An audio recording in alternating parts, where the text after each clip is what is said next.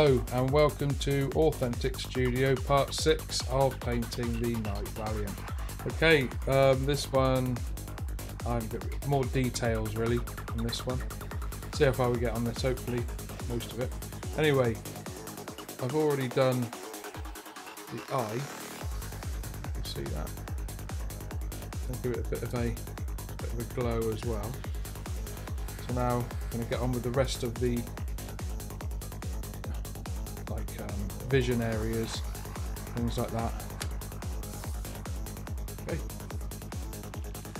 So I'll start off with full film grey base coat on all these areas.